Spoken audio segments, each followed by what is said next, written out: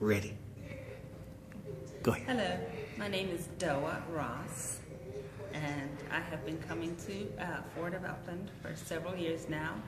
Uh, purchased one car, leased another, a Fusion. I was very happy with that, but my lease was up, and so Eric helped me get into a Ford Explorer lease.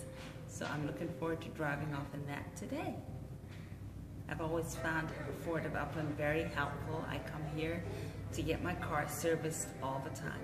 Thank you.